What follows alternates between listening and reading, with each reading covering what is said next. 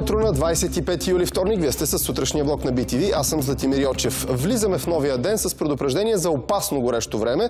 Днес три области на България светят в червено. Областите са в Централна и Северна България, Русе, Велико Търново и Племен. Следим внимателно ситуацията там, а по-късно отделяме подобаващо време на всичко това, за което ви говоря и сега, заедно с професор Георги Рачев.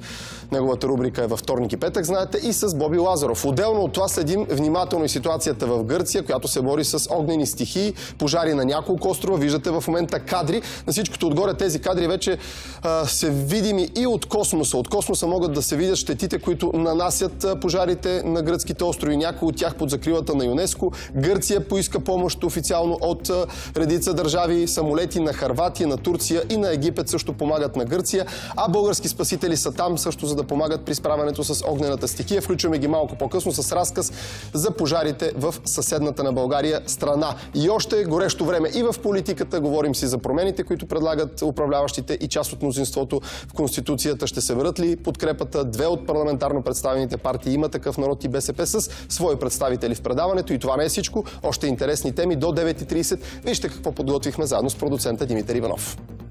Ще подкрепят ли партиите в парламента промяната на националния празник и отпадането на служебния кабинет? Гостуват Кристиан Вигенин от БСП и Тошко Йорданов от Има такъв народ. Рекордна жега в цялата страна. За кои градове е обявен червен код? На живо. Пациент в линейка загина при тежка катастрофа с автомобил. Разказ на оцелелия по чудо лекар. На ресторант с мъжа платил близо 500 лева за телешки стек. А сега е време за първата емисия новини. Представя ви Ивайло Везенков.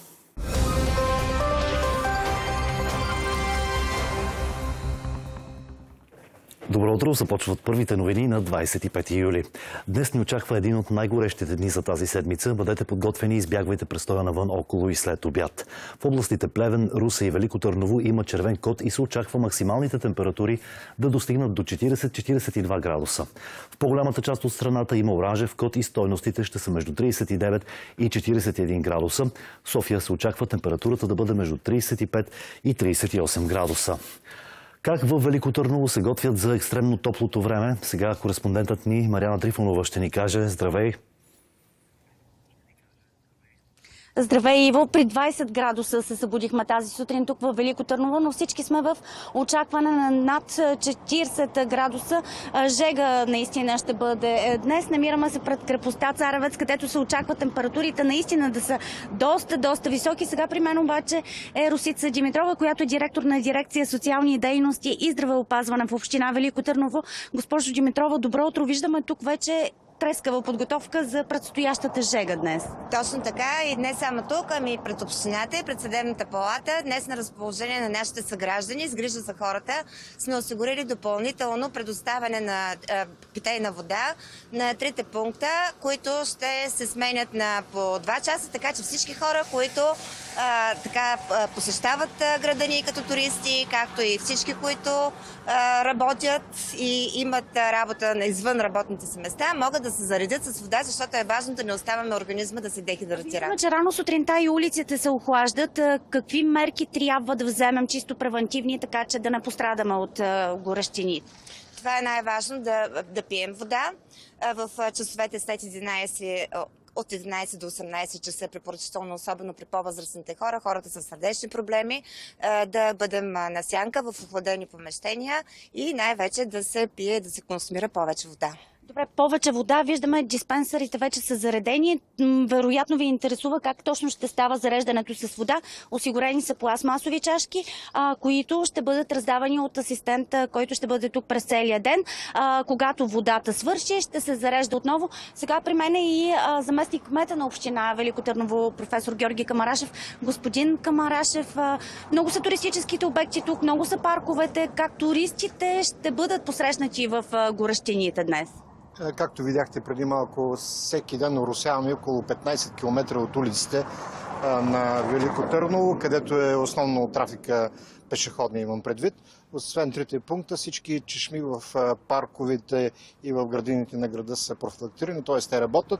Там също гражданите могат да се охлаждат. Предвижда ли се затваряне на туристически обекти днес? Не, днес не се предвижда затваряне на туристически обекти. Добре, благодаря ви. Така приключваме, колеги. Към този час поне изглеждаме подготвени да посрещнем жегата в Велико Търново. Какво ще се случи, предстои да разберем. Ние, разбира се, ще проследим как протича живота при температура над 40 градуса. Какво ще се случи? Ще се случи жега, пазете се, пийте вода и пръскайте улиците, както видяхме още от рано сутринта. За съжаление, лоши новини имаме. Моторист не спря на стоп палка и прегази полицай във Врачанско. Маргарита Стефанова беше на мястото още с нощи. Марги, какво се знае за катастрофата? Какво е състоянието на блъснатия полицай? Той е в болница, ще научим след малко какво му предстои, но да ви кажа, че мотористът, който е извършил престъплението, е бил без свидетелство за съответната категория. Освен това, ще ни кажат и полицаите всъщност какви са неговите нарушения, но Евгений Шереметов, а, вие сте свидетел, очевидец на случилото се, вие сте колега на ранения полицай. Какво видяхте? Аз видях как беше блъснат служител при изпълнение на служените задължения, брутално и с умисъл. Какво си помислихте? Помислих си, че ще го загуба. Загуба колега. Какво направи самия моторист? Той не спря, продължи с висока скорост и влезе в селото. След това за момент се появи в далечината, 30 секунди и изчезна. Разбрах, че сте го викали все пак да дойде, да помогне, да, защото колегата ви лежи на земята. да дойде, но той си продължи в друга посока. Как си обяснявате това поведение? Безнаказаност. Чиста безнаказаност. Млад мъж на 23 години, да, млад мъж на 23 години. С какви регистрации е той? Разбрахме още с нощи, че е бил осъждан Николай Стефанов, началник група Пътен контрол. От извършена допълнителна справка се установи, че той е системен нарушител. Има няколко актове съставени за неподчинение на контролни органи, за нерегистрирано превозно средство.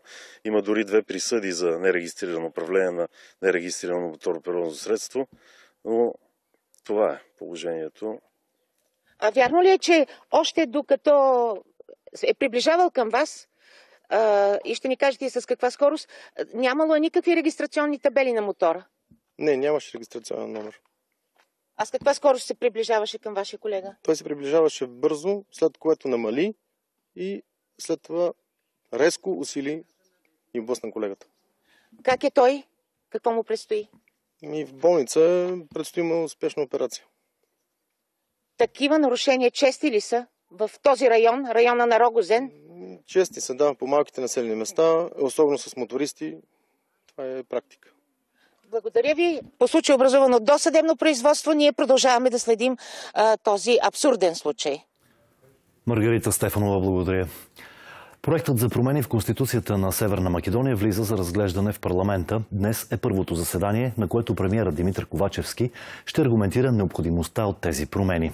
Първият етап от дебатите ще бъде за законосъобразността на инициативата за отваряне на Конституцията. Основните промени за вписването на българския народ и на още пет други в основния закон са заложени във втория и третия етап от обсъжданията.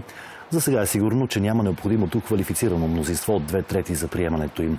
Промените са задължително условие за европейската интеграция на страната.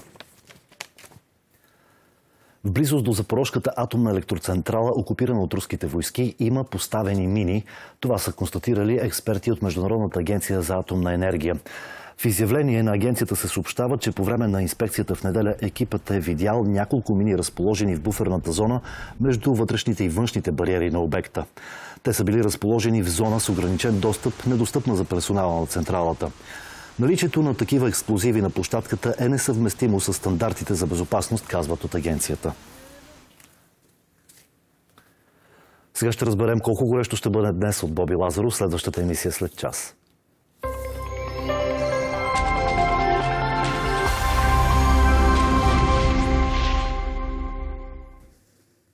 Здравейте! Днес най-горещо ще бъде в областите Плевен, Велико Търново и Русе. Там е обявен червен код за температури от 40-42 градуса, а в по-голямата част от страната въжи оранжев код за жеги между 39 и 41 градуса. В областите с жълт код очакваме стойности между 35 и 38 градуса. Така максималните температури в страната днес ще са предимно между 36 и 42 градуса. В София около 37, в Пловдив 40 и 30 градуса максимална температура температура във Варна. След обед ще превали за кратко над западна Стара планина и Родопите. Днес и утре ще са най-горещите дни за седмицата. В сряда при вечер и през нощта срещу четвъртък предстои промяна на времето. Усилване на вятъра, значително понижение на температурите, краткотрайни дъждове и грамотевични бури. Има и голям риск от градушки. В четвъртък температурите ще са до 27 градуса, плюс превалявания на планините и източна България. А от петък пак предимно слънчево време и постепенно затопляне. А тази сутрин продължава. Останете с BTV.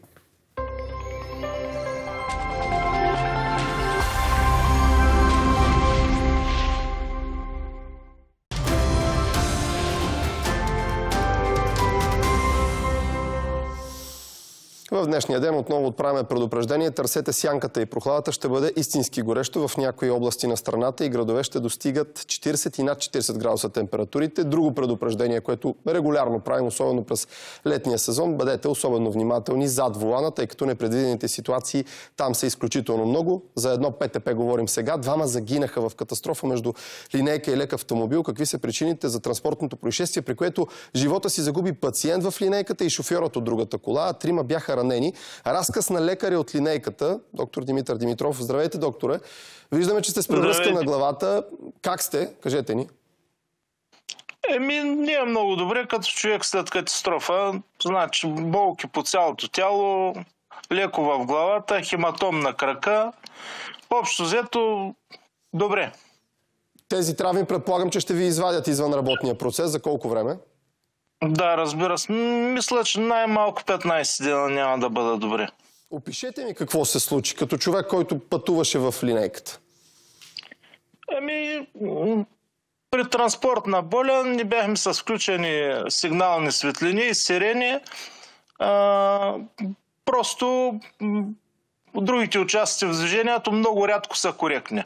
В конкретния случай ме интересува какво се случи. Бързо ли караше линейката и как се стигна до тази тежка катастрофа с двама загинали и трима ранени? Ами, сравнително бързо при, при каране на пациент с инфаркт не гледаме максимално спазваме поне първия час, нали, колкото може той нали, на него да му се помогне.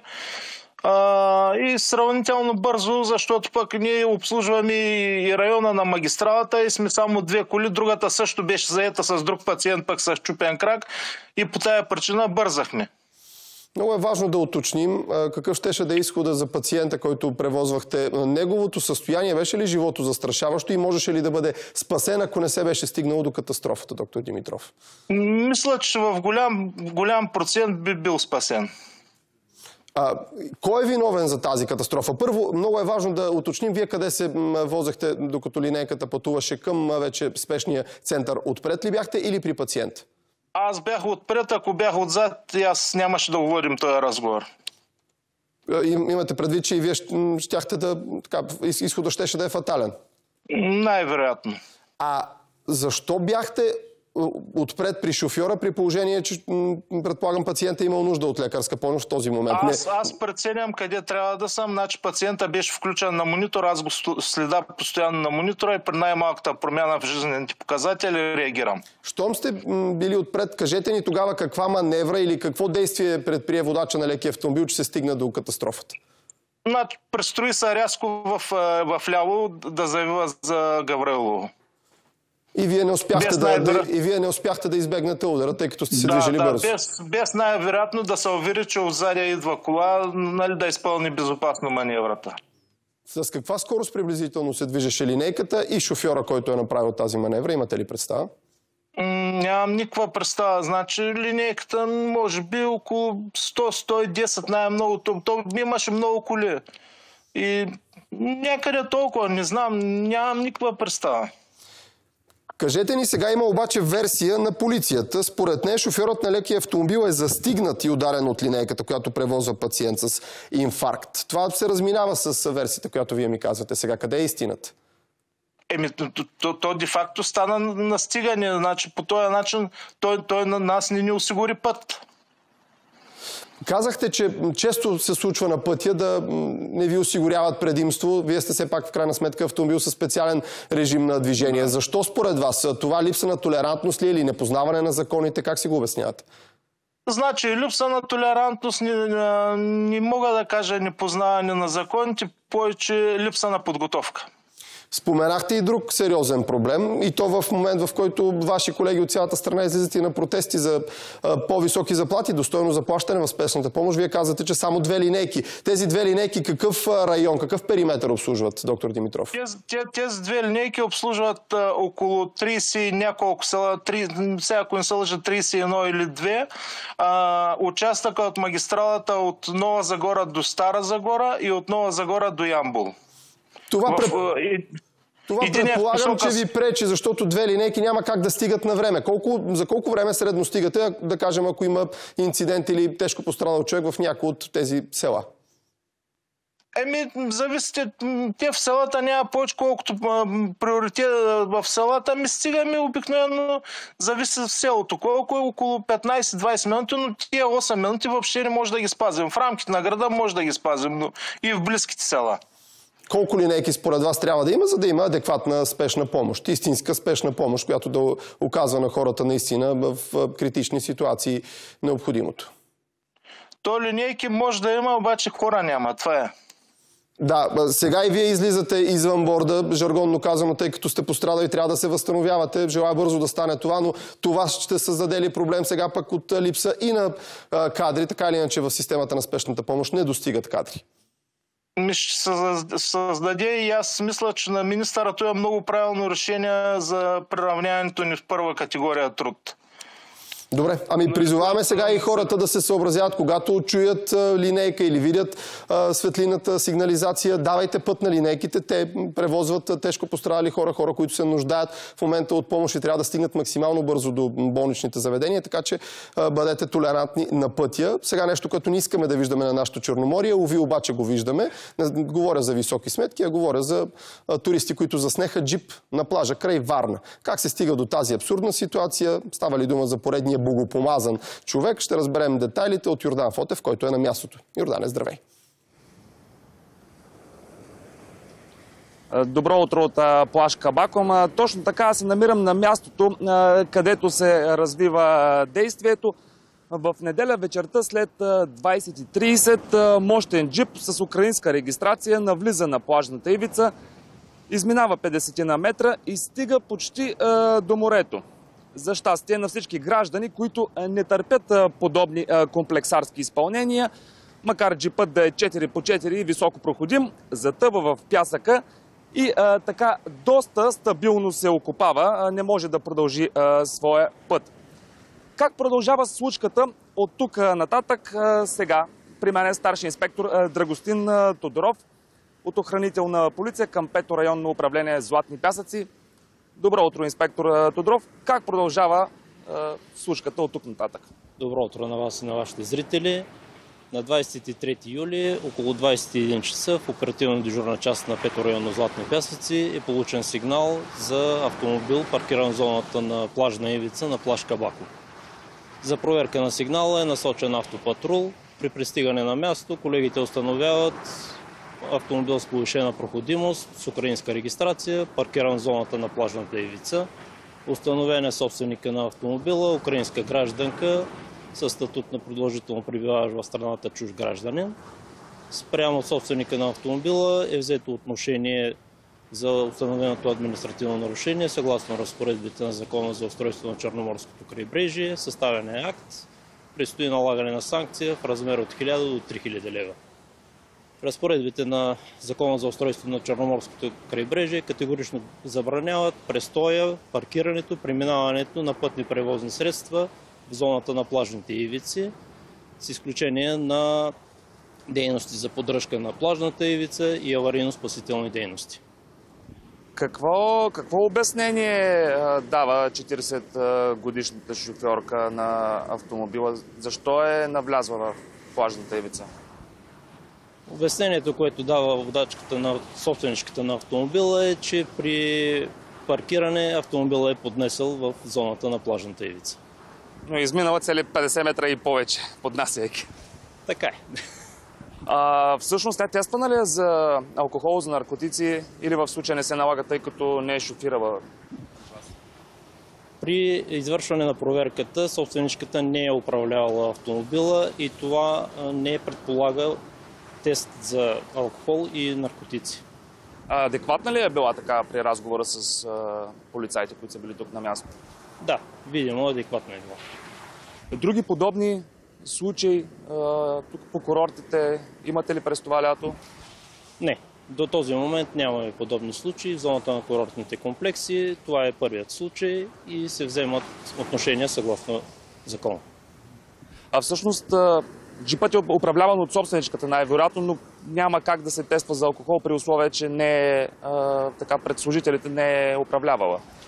Да, така е. Изискванията на закона са да имаме свидетел, който да потвърди управлението на автомобила от водача или да се установи от служителите на МВР. Добре, много ви благодаря за този разговор. Това е за сега от тук. Разбрахте през това лято тук в курортите на север от Варна други подобни случаи не са установявани. Надявам се и да няма до края на летния сезон. Но имаше такъв случай преди около месец на, плаж, на плажа в Шкорпиловци. Той завърши по същия начин. Човекът, който управляваше тогава джипът по плажната ивица, беше глобен, като санкцията отново е тази в размер от 1000 до 3000 лева. Това е от тук, отново към студиото. Данчо, благодаря ти първо. Искрени надежди този случай да остане прецедент и може би препратка към този другия случай, за който ти спомена. Може би и там джипът е поднесъл. Доста абсурдно звучи оправданието на шофьорката на този джип. Съвет към всички чужденци и всички, които почиват по нашото Черноморие. Ние си го пазим и искаме да го виждаме максимално хубаво, така че джиповете си ги паркирайте на паркингите пред хотелите или местата, в които сте отседнали. Сега пък кратко прекъсване, а след това рубриката на професор Георги Рачев, с когото ще говорим за един от най-топлите дни не само тази седмица, но и за целия месец. Юли, идва ли все пак захлаждане и студена вълна, ще разберем след секунди в нашото студио.